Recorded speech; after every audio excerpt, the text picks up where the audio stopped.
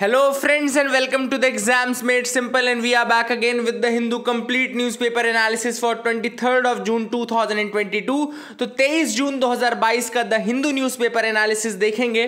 शुरू करने से पहले जो लोग नए हैं चैनल के साथ जुड़े हैं उनको बता दूँ कि करंट अफेयर्स का ये जो प्लेटफॉर्म आपने अभी देखा है या जो भी आप देख रहे हैं यहाँ के बाद आपको कुछ और देखने की ज़रूरत नहीं है। That I can assure from my end जो लोग पुराने हैं वो जानते हैं इस चीज़ को जो नए हैं वो इस चीज़ को जान जाएँगे। अगर वो थोड़ा बने रहे तो, तो please bear with me and जो भी अगर आपका कोई डाउट है तो वो मुझसे कमेंट सेक्शन में आप पूछ सकते हैं। स्टार्ट करते हैं सबसे पहले आज के सवालों के साथ। ऑब्वियसली आज के सवालों के साथ जिनके जवाब आपको देने हैं। पहला सवाल प्रिलिम्स ऑब्जेक्टिव के लिए है and it's a very good question first question is third generation biofuel refers to biofuel derived from इनमें से कहाँ से डिराइव होते हैं जो आपके थर्ड जनरेशन बायोफ्यूल्स हैं, वो कहाँ से डिराइव होते हैं? Option are algae food crops methane तो आपको बताना है one and two three only one only या none of the above so this is question number uh, one question number two is basically uh, which of the following statements are correct पहला लिखा है continuous passage of electric current in a circuit produces heat second statement है electrons are consumed in an electric circuit. तो विच of the following statements are correct? ये भी अच्छा question है. And तीसरा सवाल है हाइड्रोजन के रिगार्डिंग स्टेटमेंट्स दिए हैं. It is highly flammable hydrogen does not occur in deposits और रिजर्व्स लाइक फॉसिल फ्यूल्स तीसरा स्टेटमेंट है water is the most abundant compound of hydrogen found on earth तो आपको बताना है, इनमें से कौन से स्टेटमेंट सही है?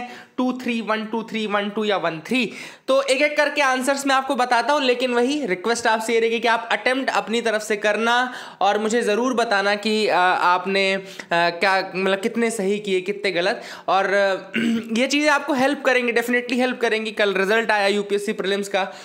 चार, पाँच छः लोग जो हमारे साथ जुड़े थे, उनका भी मैसेज आया। मुझे बहुत अच्छा लगा, बहुत अच्छी फीलिंग होती है जब आपके साथ कोई जुड़ा हो और उनका सिलेक्शन हो गया हो, है ना? तो I would like to congratulate तीन, चार नाम है मेरे पास। प्राची चौहान प्रमोद एंड देवाशीष देन तृप्ति जैन इसके अलावा कुलदीप सिंह एंड गौरव आर्या तो ये कुछ नाम हैं जिन्होंने मुझे बताया है। बाकी अगर नहीं बताया है या जो भी है, कोई आप अपनी जगह पे अपने आपने रिज़ल्ट देखा होगा तो please keep preparing for the mains and जिन लोगों ने, जिन लोगों का नहीं हो पाया है फॉर एनी रीज़न पॉसिबल जो भी हुआ हो तो this is not the end definitely this is not the end ये आपको सबने बोला होगा और ये गलत नहीं बोला ये मतलब सबने बोला होगा और कोई भी गलत नहीं बोल रहा है।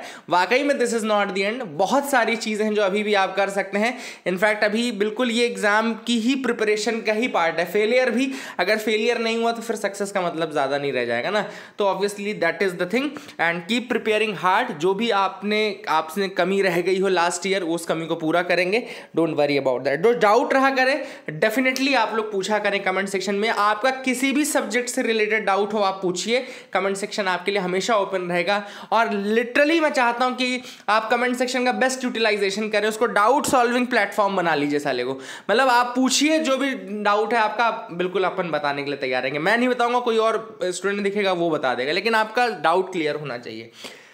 तो आंसर बताते हैं, पहला क्वेश्चन था थर्ड जनरेशन बायोफ्यूल किससे बनता है? तो इसका आंसर है एलगी से, है ना? फ़ूड क्रॉप से एक्चुअली फ़र्स्ट जनरेशन का बायोफ्यूल बनता था और फ़ूड क्रॉप्स के बाद सेकंड जनरेशन में उन्होंने चेंज किया, है ना? नॉन एडिबल चीज़ों को लेना शुरू किया। थर्ड जनरेशन में फिर एलगी और ये सब चीज़ें आई, है ना? इसलिए इसका आंसर होगा algae only one only C will be the answer question number two था कि continuous passage of electric current in a circuit produces heat बिल्कुल सही बात है। हीट प्रोड्यूस होती है। और सेकेंड स्टेटमेंट जो लेकिन लिखा हुआ है they electrons are consumed in electrical circuit ये गलत स्टेटमेंट है। Electrons don't get consumed consume नहीं होते हैं वो। है ना? They they move their motion produces charges and all but they do not get consumed in that process actually जो हीट प्रोड्यूस होती है उसका रीजन होता है रेजिस्टेंस तो क्या होता है? आ, कोई भी इलेक्ट्रिकल सर्किट होता है उसमें अब ज़्यादा टेक्निकल टेक्निकलिटी पे मैं नहीं जाऊँगा क्योंकि आ, कुछ लोगों के बियॉन्ड होगा वो बिकॉज़ ऑफ़ द ग्रेजुएशन और समथिंग लेकिन जैसे कोई सर्किट बना है तो इस तरीके का एक सर्किट होता है जैसे मान लो सपोज़ करो this is an electrical circuit ठीक है ना? अब ये जो पार्ट होता है ये हम बोलते हैं आर बोलते हैं ठीक है?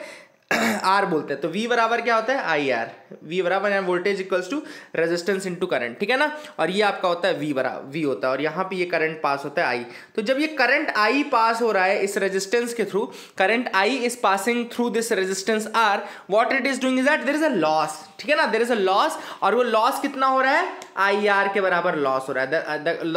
There there is a loss and ये लॉस जो होता है, ये हीट के फॉर्म में जाता है। आई स्क्वायर आर बोलते हैं। I square R it is the एक एक तरीके से ये लॉस होता है क्योंकि उसमें गर्म होगा। रेजिस्टेंस के कारण वो वैल्यू लूज करेगा। गर्म होगा वो और वो उतना फिर आपका, उतना वोल्टेज आपका कम हो जाएगा। ठीक है ना? तो I hope you got clarity regarding that ये चीज़ काफ़ी इंपॉर्टेंट है, लेकिन ठीक है एग्ज़ाम पॉइंट ऑफ़ व्यू से नहीं लेकिन आपको कंसेप्ट पता होना चाहिए कि बेसिकली होता क्या रेजिस्टेंस के कारण हीट जनरेट होती है, जो कि एक तरीके से लॉस के रूप में काउंट होता है, वो डेसिपेट होती है ना तो इस कारण से गर्म हो जाता है। फिर तीसरा सवाल आपसे पूछा गया था कि consider the following statements regarding hydrogen hydrogen के रिगार्डिंग कुछ स्टेटमेंट्स दिए थे। अब इसके तीनों ही स्टेटमेंट सही थे। हाइड्रोजन हाईली फ्लेमेबल भी होती है। ये रिजर्व्स या डिपॉजिट जैसे फॉसिल फ्यूल होते हैं, उसमें नहीं पाई जाती। और वाटर जो है, वो मोस्ट अबेंडेंट सोर्स है तो ये भी सही है। तो तीनों स्टेटमेंट सही हो गए। ये तीन सवाल थे। I hope you got clarity move करते हैं mains question of the day की तरफ़ जिसके आंसर आपको लिखने की कोशिश करनी चाहिए।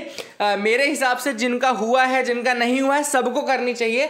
अब ये आपके ऊपर है कि आप कितना इस चीज़ को एक्सेप्ट करते हैं from your side but ultimately I want you people to succeed and मैं चाहता हूँ कि आप लोग भले पॉइंटर्स दें भले आप जिस्ट दें भले आप समरी दें लेकिन आप पूरा आंसर ना भी लिखें तो भी आप एटलीस्ट पॉइंट्स तो दे ही दें है ना? तो मैं वेट करूँगा देखता हूँ आप लोग कितना करते हैं। क्वेश्चन है what are the major issues with the current GST regime अभी जो करेंटली जीएसटी रिजीम चल रही है, उसमें मेजर चैलेंजेस क्या है? And how can these challenges be overcome किन, किस तरीके से इन चैलेंजेस को हम ओवरकम कर सकते हैं? ये भी आपको बताने की कोशिश करनी है। इजी क्वेश्चन है, बहुत ज़्यादा टफ नहीं है। मैं लेकिन फिर भी आज का जब मैं डिटोरियल डिस्कस करूँगा तो कुछ पॉइंट्स आपको एक्स्ट्रा दूँगा, है ना? तो उसके बाद आप भले अटेम्प्ट कर सकते हैं। अदरवाइज़ जिसको पता है, वो पॉज करके अभी अटेम्प्ट कर ले। ज़्यादा बेटर है, ठीक है ना? ज़्यादा समय नहीं देना, चार से पाँच मिनट का समय देना है। अगर ज़्यादा अपर एंड पे गए तो सात से आठ मिनट का आप दे सकते हैं अदरवाइज़ कोशिश अभी चार से पाँच मिनट की करनी है अपने को, है ना? मूव करते हैं न्यूज़ एनालिसिस में। सबसे पहली न्यूज़ है पेमेंट विजन 2025 पेमेंट विजन 2025 अब सबसे पहला तो सवाल है कि ये पेमेंट विजन 2025 आया कहाँ से? तो ये रिलीज़ किया गया है रिज़र्व बैंक ऑफ़ इंडिया के द्वारा। किसके द्वारा रिलीज़ किया गया है? रिज़र्व बैंक ऑफ़ इंडिया के द्वारा रिलीज़ किया गया है। और इसकी कोर थीम है e payment for everyone everywhere and every time चार ई हैं इसमें। E payment for everyone for everywhere and every time ठीक है ना? तो फोर ई e याद रखेगा रिज़र्व बैंक ऑफ़ इंडिया ने रिलीज़ किया है पेमेंट विजन 2025 पेमेंट विजन 2025 के अंतर्गत उन्होंने फोर ई e का कंसेप्ट दिया है। यानी कि e payment everywhere everyone every time ठीक है ना? ये आप याद रखिएगा। अब इसका विजन क्या है? The vision is to provide every user with safe secure fast convenient accessible and affordable e payment option है ना? तो ये चीज़ें हैं fast safe secure convenient accessible affordable e payment option provide करना। ठीक है ना? These are the things goal post obviously उन्होंने सेट किया है। तो चाहते हैं कि 2025 तक मेजरली गोल जो गोल है फाइनेंशियल इंटीग्रिटी का फाइनेंशियल इंक्लूजन का इनोवेशन का इंस्टीट्यूशनलाइजेशन का एंड इंटरनेशनलाइजेशन का। तो ये पाँच आई है फाइव आई गोल पोस्ट है इसके फोर ई कंसेप्ट है फोर यानी कि e payment for everywhere every everywhere everyone and every time and five I का जो कंसेप्ट है, यानी कि integrity inclusion innovation institutionalisation and internationalisation ये आप याद रख सकते हैं। These are the things which are very very important अब ऑब्वियसली इसमें होगा क्या? इसमें जो बड़े बड़े फिनटेक्स हैं बिग टेक्स हैं, उनका रेगुलेशन होगा। गाइडलाइंस निकाली जाएँगी फॉर पेमेंट जिसमें बाय नाउ पे लेटर वाला कंसेप्ट भी आएगा। Introducing central bank digital currency जो सीबीडीसी के बाद इसकी बात की गई थी सर्वे में भी की गई थी और आपके बजट में बजट में की गई थी बेसिकली तो सेंट्रल बैंक डिजिटल करेंसी का भी कंसेप्ट आएगा। जियो टैगिंग होगी डिजिटल पेमेंट इंफ्रास्ट्रक्चर की एंड ट्रांजैक्शन की। है ना? तो ये सारी चीज़ें की जाएँगी इसके अंतर्गत। क्रेडिट कार्ड को लिंक करना यूपीआई से, मैंने अभी आपको कल परसों की ही न्यूज़ में मैंने आपको बताया था कि क्रेडिट कार्ड्स को अब यूपीआई से लिंक कर दिया जाएगा। तो सारी चीज़ें जो हैं they are the part of this system only तो I hope you got clarity regarding that अगली जो न्यूज़ है वो है, अल्जीरिया ने अनाउंस किया है to suspend its treaty of friendship good neighbourliness and cooperation that is signed with Spain 20 years ago 20 साल पहले, याद रखिएगा, बहुत इंपॉर्टेंट न्यूज़ है, पुरानी न्यूज़ है, लेकिन मैं फिर भी आपको बता रहा हूँ, अभी ये 12 तेरह दिन पुरानी न्यूज़ है, लेकिन मुझे मुझे पढ़ते हुए मिली तो मैंने सोचा कि इसको इंक्लूड करना ज़रूरी है। बहुत सारे वेबसाइट्स उन्होंने बिल्कुल इंक्लूड नहीं किया, इसलिए मैं आपको बता दूँ कि 8 जून 2022 को अल्जीरिया ने अनाउंस किया था that it is suspending its treaty of friendship good neighbourliness and cooperation that is signed with Spain twenty years ago बीस साल पहले स्पेन के साथ अल्जीरिया ने एक treaty of friendship and good neighbourliness ये साइन की थी। अब अल्जीरिया जो है उसने अनाउंस किया कि वो सस्पेंड करेंगे इस ट्रीटी को।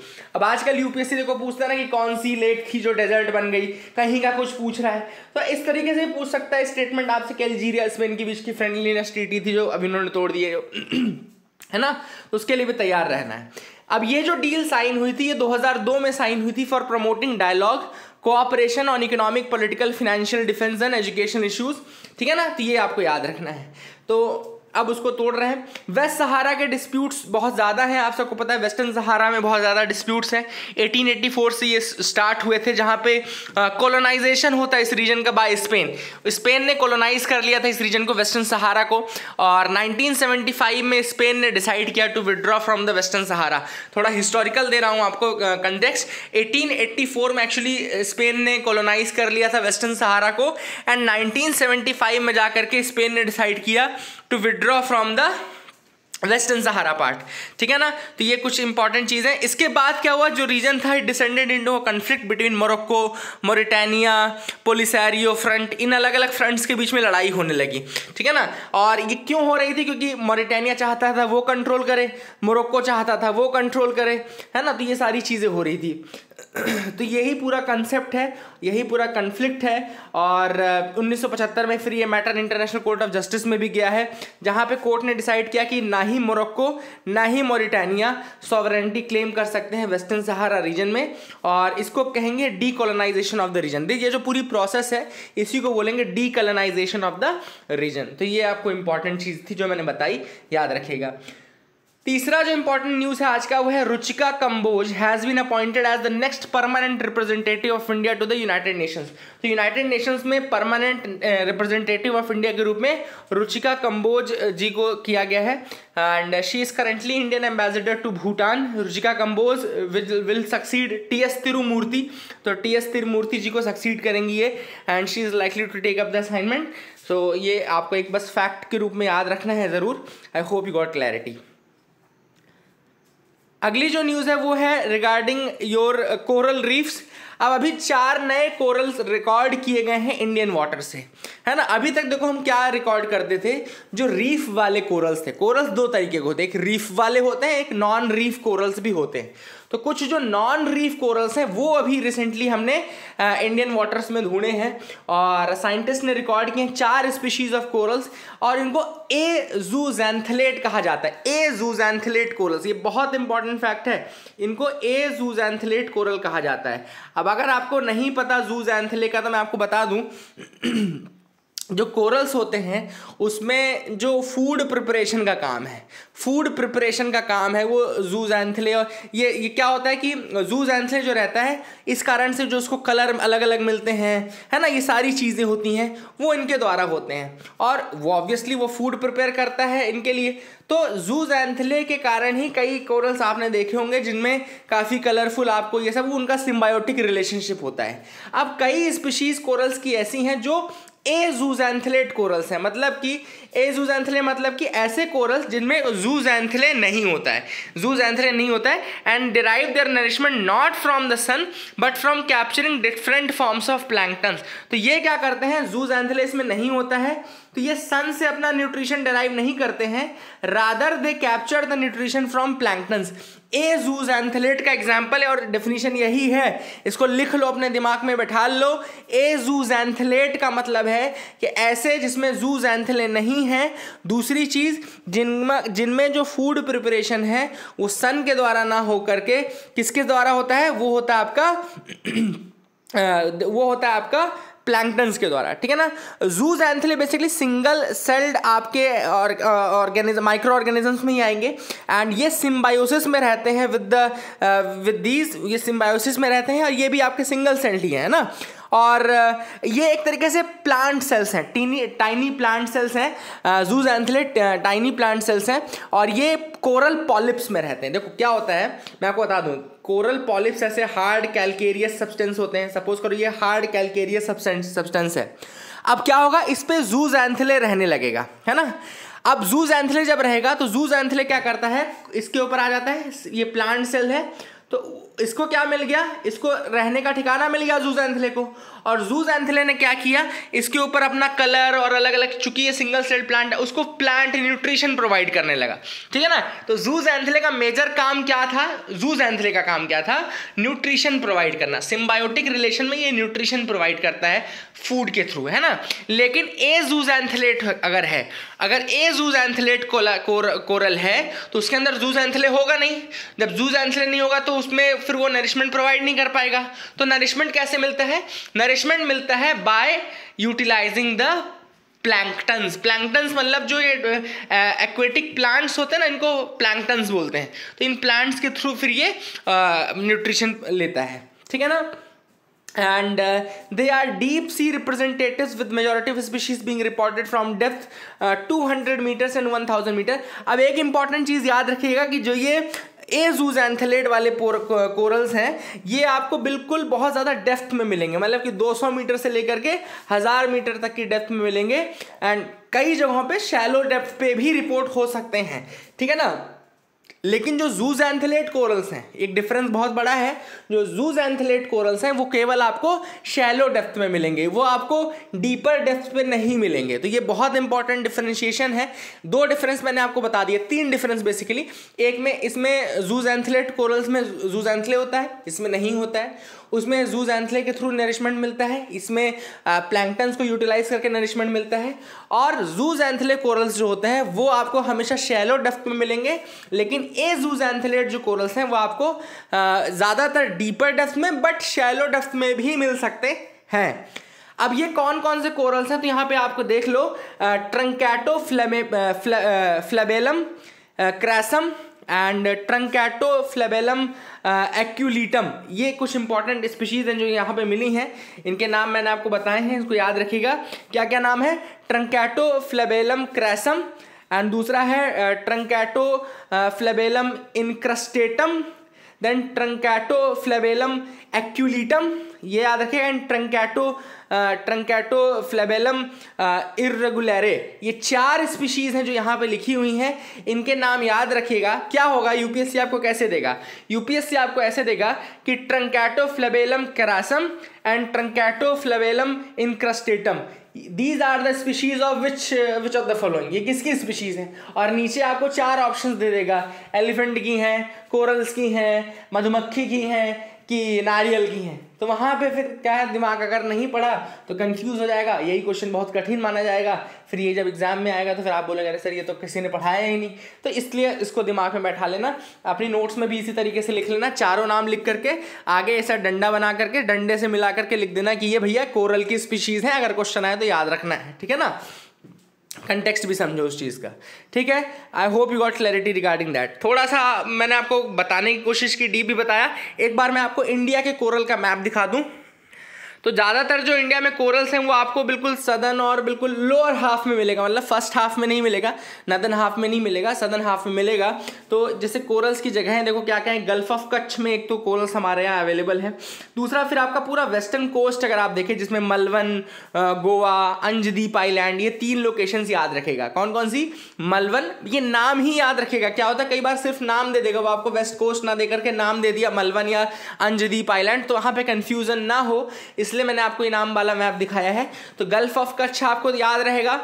दूसरा आपको जो ये पूरा वेस्टर्न कोस्ट है, उसमें बॉम्बे से लेकर के मलवन हो गया गोवा हो गया अंजदीप आइलैंड हो गया, ये तीन लोकेशन वेस्टर्न कोस्ट भी हो गई। देन लक्काद्वीप और मालदीव्स में ऑब्वियसली बात है लक्काद्वीप में लक्षद्वीप वाले पार्ट में है। देन पाक बे और गल्फ ऑफ़ मन्नार बहुत फ़ेमस लोकेशन है Palk Bay and Gulf of Mannar फिर अंडमान एंड निकोबार आइलैंड्स में भी हमारे यहाँ कोरल्स हैं। तो ये लोकेशन बस आप याद रखिएगा कोरल्स की लोकेशन जो कि इंडिया की है। Andaman, Nicobar, Palk Bay Gulf of Mannar Lakshadweep and then आपका मलवन गोवा, अंजदीप और आपका मतलब वेस्टर्न घाट तो गल्फ ऑफ़ कच्छ एक लास्ट लोकेशन है गल्फ ऑफ़ कच्छ तो गल्फ ऑफ़ कच्छ में भी है। ठीक है? तो ये इंपॉर्टेंट लोकेशन आपको मोस्टली यही याद रखना है। इसके बाहर की अगर आपको ज़्यादा लोकेशन दिखाए तो उसको समझ जाना कि गलत करना है। तो ये ये लोकेशंस आप याद रखेगा। So I hope you got clarity regarding that आगे मूव करते हैं। Deputy secretary in CMO two S D M suspended by L G अब यहाँ पे एक्चुअली यहाँ पे एक शब्द लिखा हुआ है नॉन प्रॉबिटी तो मैंने सोचा कि आपको एक एथिक्स का भी टॉपिक इसी में आ जाए कवर हो जाएगा। कवर तो नहीं होगा, लेकिन हाँ डेफिनेशन एटलीस्ट आपको पता चल जाएगी प्रॉबिटी क्या होती है। तो probity basically ethics and good governance का वो प्रिंसिपल है, जो अलग अलग लेवल्स पे ऑपरेट करता है। प्रॉबिटी एक एथिक्स एंड गवर्नेंस का प्रिंसिपल है ऑब्वियसली प्रॉबिटी अलग अलग लेवल पे होता है, जैसे इंडिविजुअल लेवल पे भी होता है। ऑर्गेनाइजेशन लेवल पे होता है ठीक है ना? एंड रेगुलेटर लेवल पे होता है तो प्रॉबिटी हर लेवल पे होती है। प्रॉबिटी एक एक्ट है प्रॉबिटी एक्चुअली एक कहना चाहिए एक कॉमन ग्राउंड है। प्रॉबिटी एक कॉमन ग्राउंड है। कॉमन ग्राउंड मतलब कि जैसे मान लो एक आपका ये हो गया इंटीग्रिटी एक आपका हो गया इधर ऑनेस्टी एक आपका यहाँ पे हो गया आ, कहना चाहिए नॉन पार्टीजनशिप है ना? तो ये जो कॉमन ग्राउंड है ना, ये तीनों का जो इंटरसेक्शन पॉइंट है, ये आपका कहलाता है प्रॉबिटी दिस इज़ प्रॉबिटी अगर आपको कभी रिप्रेजेंट करना हो प्रॉबिटी को by by showing some Venn diagram और समथिंग तो ये वेन डायग्राम आप बना देना. इंटीग्रिटी ऑनेस्टी और ये सारी वैल्यूज़ जहाँ पे मिलती हैं कैरेक्टर डिसेंसी ये सारी वैल्यूज़ जहाँ मिलती हैं, वो कॉमन ग्राउंड आपका, काहे का है? प्रॉबिटी का कॉमन कॉमन ग्राउंड है.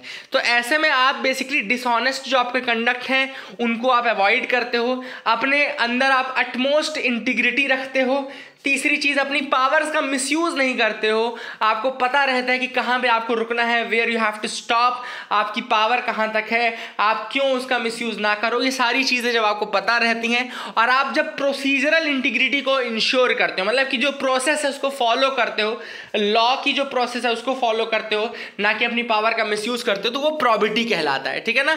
तो प्रॉबिटी इंडिविजुअल्स के लिए बेसिकली ये है कि वो अपनी अथॉरिटी का मिसयूज़ ना करें, अपनी पावर का मिसयूज़ ना करें, अपने एक्ट्स में इंटीग्रिटी को दिखाएँ ऑनेस्टी को दिखाएँ प्लस प्रोसीजरल इंटीग्रिटी को फॉलो करें, ये सारी चीज़ें हैं। ठीक है ना? ऑर्गेनाइजेशनल लेवल पे हम देखेंगे तो वही है कि कोड ऑफ़ प्रैक्टिस प्रॉपर हो कोड ऑफ़ कंडक्ट हो उनका वर्क एथिक्स प्रॉपर मेंटेन रहे, एक ऐसा एटमॉस्फेयर दे जो सबको ग्रो करने का मौका मिले। ये सारी चीज़ें जो है बेसिकली प्रॉपर्टी के अंदर आती हैं। है ना? I hope you got clarity regarding this property as well आपको समझ में आ गया होगा। बेसिकली मेरा डेफिनेशन ही बताने का एम था ताकि आप कभी भी कुछ क्वेश्चन आ जाए व्हाट इज़ प्रॉबर्टी तो आपको लिखने में दिक्कत ना हो। ऐसा क्वेश्चन आता भी है डायरेक्टली भी पूछा जाता है। ऐसा नहीं कि वॉट इज़ प्रॉपर्टी नहीं पूछ सकता।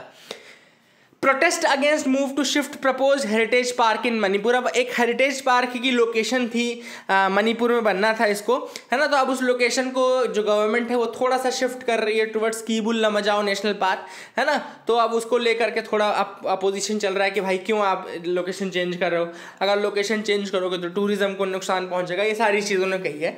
बट अपने को अपने फैक्ट्स उठा लेने हैं मेन एक तो हेरिटेज पार्क मणिपुर में बन रहा है। दूसरी चीज़ कीबुल लमजाओ नेशनल पार्क जो है वो मणिपुर में है। तीसरी चीज़ आपको याद रखना है कि कीबुल लमजाओ नेशनल पार्क जो है it is home to endangered brow antlered deer जो कि संगाई कहलाता है, संगाई डियर बोलते हैं।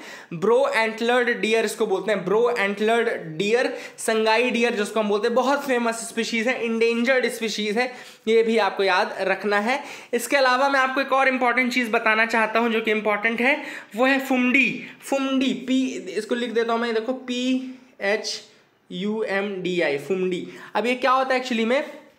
जो कीबुल लमजाओ नेशनल पार्क है, उसको हम फ्लोटिंग वो बोलते हैं। फ्लोटिंग नेशनल पार्क बोलते हैं, क्योंकि उसमें जो पैच है वहाँ पे वहाँ पे एक स्पेशल टाइप की फ्लोटिंग बायोमास या फ्लोटिंग ग्रास कह लो आप तो वो फ्लोटिंग जो बायोमास है, उसको हम फुमडी कहा जाता है उसमें, ठीक है ना?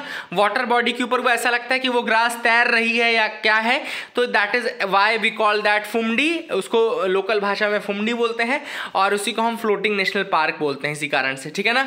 और ये जो लोकटक लेक है it's Ramsar wetland of international importance याद रखिएगा it it is a Ramsar wetland of international importance काफ़ी इंपॉर्टेंट है ये। और 2016 सेंसस के अकॉर्डिंग इसमें लगभग 260 संगाई डियर थे। तो ये भी कुछ इंपॉर्टेंट फैक्ट्स है जो आपको पता होना चाहिए। I hope you got clarity regarding that as well आपको समझ में आ गया होगा।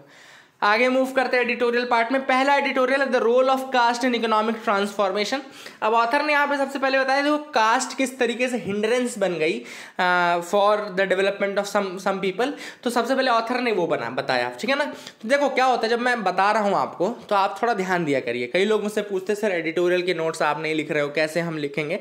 तो मैं आपको, जैसे मैं मैं, आपने देखा होगा एडिटोरियल को मैं हमेशा कुछ उसको पॉइंट्स में तोड़ता ही हूँ। जैसे पहला मैंने अभी आपको पॉइंट बताया कि सबसे पहले ऑथर ने बताया है कि किस तरीके से कास्ट जो है, वो हिंड्रेंस बन गई for the development of some people है ना? तो आप एज इट इज़ ये हेडिंग बना लो ना कि how caste became a hindrance in the development of some people उसके दो तीन पॉइंट मैं दूँगा। अब जैसे पहला पॉइंट ऑथर ने दिया है कि कास्ट एक्चुअली क्या था? ये कॉलोनियल एरा की प्रॉब्लम है। कॉलोनियल एरा में क्या कर रहे थे क्या कर रहे थे ब्रिटिशर्स वो कुछ कुछ कास्ट जो जो थी उनको ज़मींदारी के राइट दे रहे थे। कुछ कास्ट जो थी उनको लेबर बना रहे थे।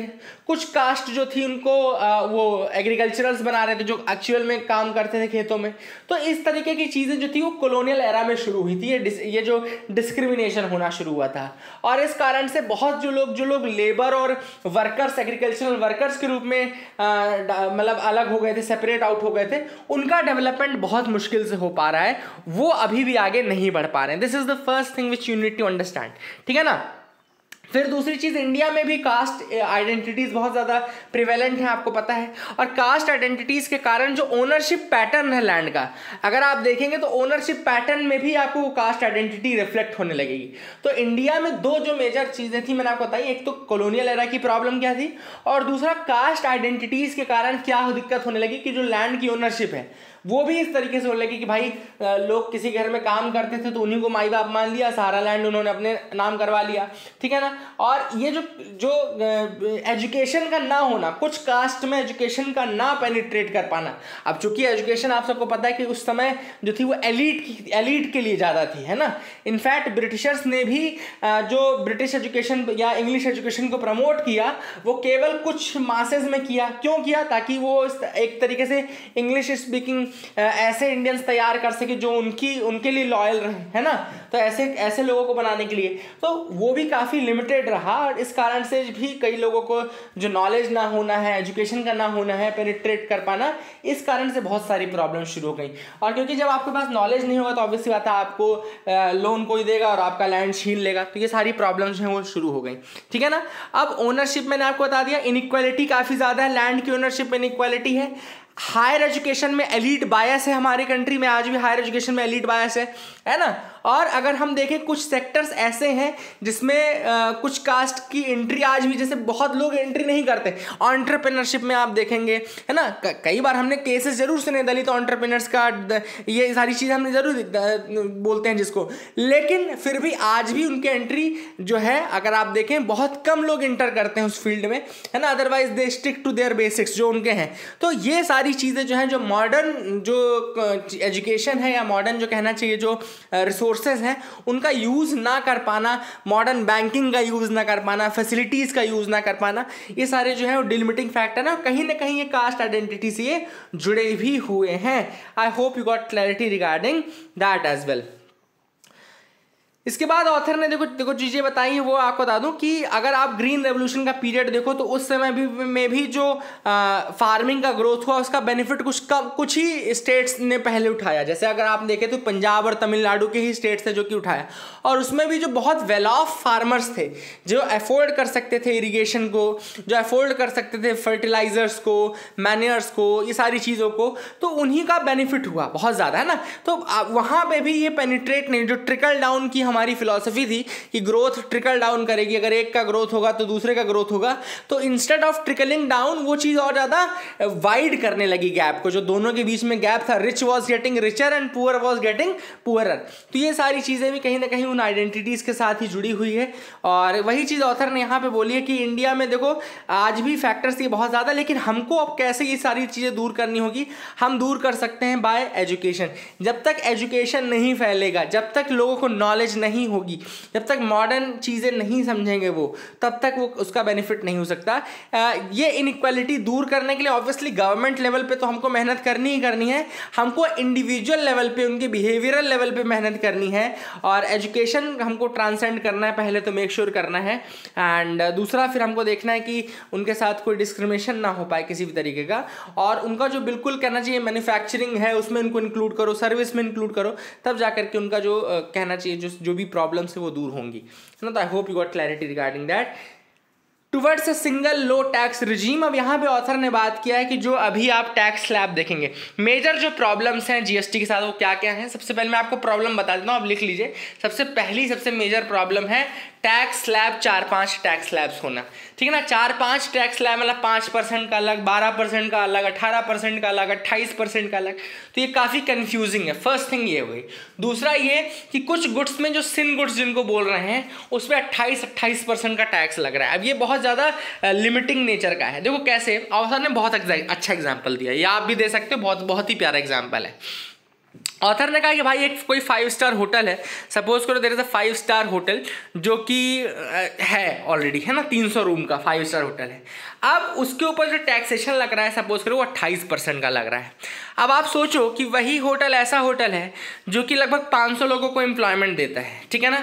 90 परसेंट जिनमें से वेटर हाउस कीपर मतलब लो, वैसे बहुत ज़्यादा हाईली स्किल्ड जॉब्स नहीं है, लेकिन हाँ लो स्टैंडर्ड के जो लोग रहेंगे, जो नीचे तबके से आए वो उस काम को कर रहे होंगे। देन उसके बाद सिक्योरिटी उसमें रहेगी।